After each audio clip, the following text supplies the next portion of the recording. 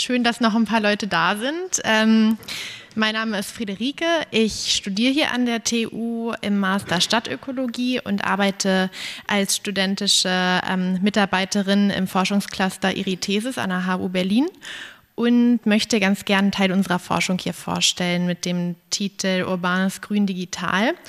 Und dabei möchte ich mich ähm, auf Perspektiven beziehen, die ähm, die digitale und niedrigschwellige ähm, Erschließung für die Stadtnatur bedeutet.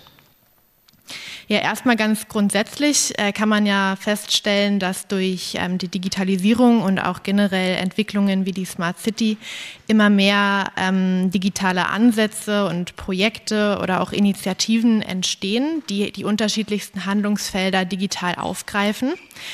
Und ähm, was dabei auffällt, ist, dass sie häufig ein gemeinsames Ziel verfolgen durch die digitale Repräsentation, ähm, und zwar die Niedrigschwelligkeit. Ähm, das kann man halt so verstehen, dass einfach ähm, entsprechende Projekte versuchen, ihre Inhalte recht einfach darzustellen, ähm, dass sie wenig Aufwand in der Inanspruchnahme durch zum Beispiel ja, Nutzerinnen der, oder Nutzer der Projekte dann ähm, benötigen. Äh, wir fokussieren uns auf Stadtnatur, das heißt, ähm, ähm, im Bereich der Stadtnatur kann diese Niedrigschwelligkeit auf ganz unterschiedlichen Ebenen festgestellt werden. Ähm, beispielsweise könnte man sehen, dass Niedrigschwelligkeit sich durch eine neue Art der Inhaltsvermittlung ausdrückt, also besonders ähm, einfache Vermittlung von Inhalten, die in der Umweltbildung beispielsweise ähm, Konsequenzen haben kann, oder auch in der Vereinfachung von Informationsflüssen und Vernetzungen. Und das wiederum kann ähm, man in Projekten wie, also in, in zum Beispiel Citizen Science Projekten ähm, beobachten. Wir haben uns dann halt die Frage gestellt, ähm, welche Perspektiven konkret für den Umgang mit Stadtnatur daraus äh, folgen können und haben Hypothesen aufgestellt. Man könnte sich zum Beispiel überlegen, dass ähm, neue und recht einfache Möglichkeiten der Inhaltsvermittlung ähm, sich auch auf eine Bewusstseinsveränderung für Stadtnatur auswirken könnte oder auch ähm, neue Formen der Nutzung von Stadtnatur ähm, begünstigen könnte. Oder was auch ähm, möglich ist, ist, dass die digitale Repräsentation ähm, vielleicht neue Nutzergruppen ansprechen kann. Also das sind die Überlegungen, die wir hatten und äh, das haben wir versucht zu untersuchen mit Hilfe von praktischen Beispielen. Ähm, also im Prinzip geht es hierbei um digitale Stadtnaturprojekte, die ähm, die Schnittstelle zwischen Digitalisierung und Stadtnatur in der Praxis aufgreifen. Und ähm, wir haben uns dabei auf Projekte bezogen, die ähm, hier in, in Berlin äh, anzutreffen sind. Das hat mehrere Gründe. Also zum einen hat Berlin einfach einen recht hohen Anteil an Stadtnatur. Dann ähm, generell verfolgt die Stadt ja auch digitale Ansätze, also möchte, strebt ja auch an, eine Smart City zu werden. Und ähm, sie ist auch als Hotspot bekannt für ähm, entsprechende Initiativen und Projekte mit Digitalbezug. Also für uns ähm, das ist eine ganz gute Ausgangssituation, um da anzusetzen. Ähm, wir haben dann ähm, nach entsprechenden Projekten gesucht, mithilfe einer ähm, ja, mit Schlagworten, ähm, einer Desktop-Recherche und sind auch fündig geworden. Also wir haben insgesamt 21 Projekte in Berlin gefunden, die Stadtnatur in irgendeiner Art und Weise digital aufgreifen.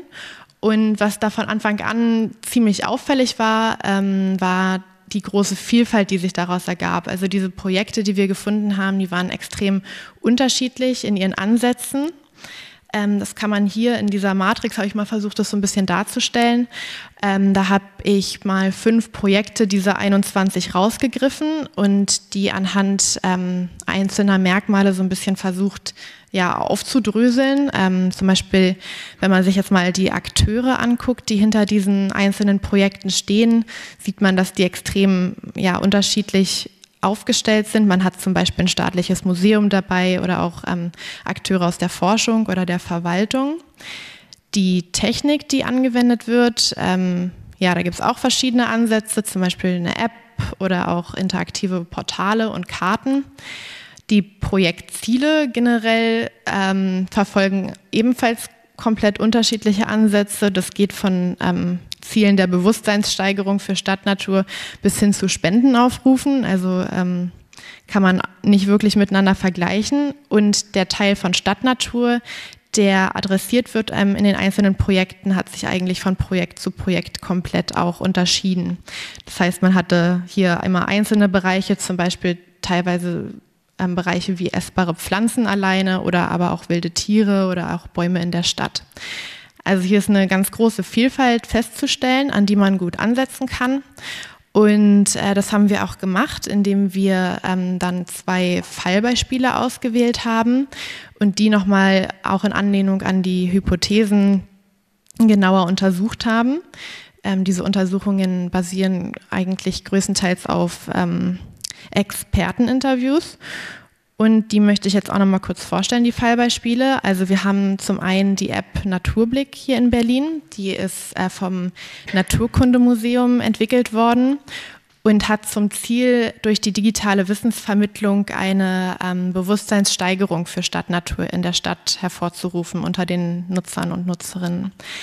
Ähm, das Bild zeigt das Hauptmenü der App. Also wenn man die öffnet, äh, öffnet sich dieses Menü und da kann man auch so ein bisschen die Fokusthemen der App äh, schon erahnen. Also ein großes Thema ist die Artbestimmung, die man äh, mit der App durchführen kann. Aber man kann beispielsweise auch mithilfe einer digitalen Karte so ein bisschen ähm, ja zum Beispiel in der Nähe Orte entdecken und sich darüber Informationen einholen. Ähm, die Analyse der App hat ergeben, dass sie vor allem ähm, Potenziale darin hat, kompliziertere Wege der Inhaltsvermittlung ähm, überflüssig zu machen. Das heißt, diese niedrigschwellige Repräsentation führt dazu, dass man beispielsweise nicht mehr auf Bestimmungsliteratur ähm, zurückgreifen muss bei einfachen Artbestimmungen. Außerdem werden dadurch dann ähm, neue und weniger affine Nutzergruppen angesprochen, vor allem Leute, die vielleicht schon grundständiges ähm, Interesse in die Natur haben, ähm, aber einfach denen so ein bisschen die Initiative gefehlt hat oder die Motivation, sich damit eigenständig auseinanderzusetzen. Und ähm, außerdem konnte, die, konnte das Umweltbewusstsein, also konnte beobachtet werden, dass das Umweltbewusstsein der Nutzer und Nutzerinnen durch die Benutzung der App steigt. Ähm, wir sind allerdings auch auf Grenzen gestoßen, also zum Beispiel ähm, in der selektiven Inhaltsauswahl ähm, der, der App. Das heißt, es konnten nur, können nur Bereiche dargestellt werden, die in der App gespeichert sind. Und dementsprechend werden Bereiche der Stadtnatur wie zum Beispiel Spontanvegetation nicht berücksichtigt. Eine weitere Grenze liegt in der Wiedergabe komplexer Inhalte und Prozesse. Jeder, der zum Beispiel schon mal ein Gras bestimmt hat, der weiß, man braucht da eigentlich eine Lupe für eine Pinzette und da kann die App natürlich nicht mithalten. Das zweite Fallbeispiel ist vielleicht auch einigen bekannt. Ähm, das ist die Initiative Mundraub. Mundraub nutzt eine digitale Karte, um Fundorte von essbarer Flora darzustellen. Das sieht man auch hier in der Abbildung als ähm, einen Ausschnitt der App zu sehen mit einzelnen Pins, die sagen, also die ähm, beschreiben die einzelnen Fundorte. Und wenn man auf einen draufklickt, öffnet sich auch nochmal eine Information, wie es hier jetzt halt mit der Kirsche der Fall ist. Die Analyse von Mundraub hat ergeben, dass ähm, Stadtnatur in eine ganz neue Nutzungsperspektive gesetzt wird und damit auch sich das Bewusstsein für Stadtnatur dementsprechend verändern kann, von dem eigenen ökologischen Wert hin zu so einem etwas nutzungsorientierterem Wert im Sinne von Essen. Und äh, außerdem ein weiterer Punkt beim Mundraub ist auf jeden Fall die Community-Bildung, die gefördert wird durch die digitale Vernetzung. Das ähm, ist bei Mundraub sehr stark der Fall, dass Nutzer und Nutzerinnen sich zusammentun und auch zum Beispiel gemeinsam Aktivitäten nachgehen. Ein Problem bei der digitalen Repräsentation liegt darin, dass, ähm, wie gesagt, die Perspektive wird ja so ein bisschen verschoben hin zum Nutzungsgedanken und dabei ist jetzt auch schon vorgekommen, dass so ein bisschen die ökologischen Werte in den Hintergrund geraten und eher diese Nutzungsperspektive in den Vordergrund gerät, dass es zu einer Übernutzung kam. Das heißt, dass auch schon Umwelt äh, darunter mehr oder weniger gelitten hat. Und das ist natürlich eine Entwicklung, die nicht angestrebt wird. Ganz zusammenfassend lässt sich sagen, dass ähm, neue Formen digitaler Repräsentation ähm, für die Stadtnatur Vorteile bedeuten. Ähm, und zwar in der benutzerfreundlichen und ansprechenden Darstellung können die gesehen werden, in neuen Wegen der Wissensaneignung und damit auch ähm, der Bewusstseinsänderung, in der Unterstützung von Vernetzungen und Akteursgefügen und der Ansprache neuer Nutzergruppen. Dementsprechend konnten auch unsere Hypothesen ähm, bestätigt werden. Allerdings haben wir auch die Grenzen festgestellt, wie gesagt, in der ganzheitlichen Darstellung von Stadtnatur und in der Darstellung komplexer Inhalte. Grundsätzlich kann man also schlussfolgern, dass ähm, die digitale und niedrigschwellige Repräsentation dazu führt, ähm, oder gut dafür genutzt werden kann, ein anfängliches Interesse zu schaffen und eine anfängliche Bewusstseinssteigerung. Allerdings auch momentan noch digitale Grenzen bestehen, wenn es zum Beispiel um komplexere Inhalte geht. Und ja, damit bin ich auch schon durch.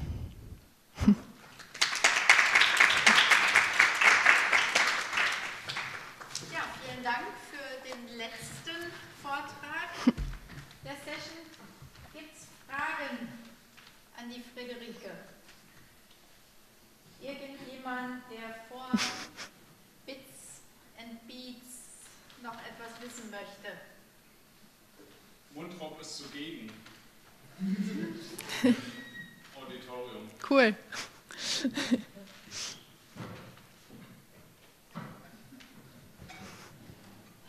Es ist nicht einfach, wenn man den letzten Das ist okay. Was meinst du denn mit Bewusstseinsänderung, Verstärkung etc.? Hast du dafür ein Beispiel? Ähm, damit ist zum Beispiel gemeint, wenn man ja, oh, das Mikro, ähm, wenn man jetzt beispielsweise diese Naturblick-App benutzt, ähm, konnte festgestellt werden, also in diesen Experteninterviews waren halt auch ähm, Befragungen von Nutzern und Nutzerinnen ähm, und da hat sich herausgestellt, dass die Leute, die halt wissen, dass sie diese App bei sich haben, also die halt auch wirklich mobil und spontan unterwegs sind, ähm, viel stärker auf die Umwelt achten und auf die Natur, einfach mit diesem Gedanken im, Hinter also im Hinterkopf, dass sie jetzt jederzeit im Prinzip ähm, ja, Stadtnatur entdecken können. Das war ein Beispiel dafür.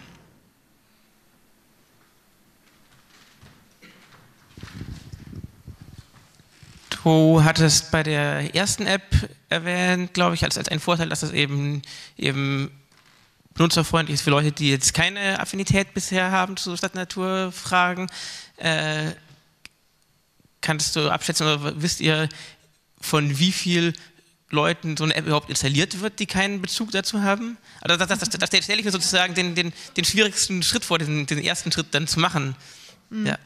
ja, ich denke auch, das sind so Abstufungen. Also man kann von keiner Person, die einfach sich gar nicht für Natur interessiert, erwarten, dass äh, sie die App runterlädt. Ähm, ich denke, dass vor allem Leute angesprochen werden, die schon interessiert sind im Grunde oder auch einfach ähm, naturfreundlich sind aber ähm, denen einfach so ein bisschen die Motivation oder dieses tiefe Interesse fehlt, sich dann eigenständig zum Beispiel mit dem Rotmaler auf die Wiese zu setzen.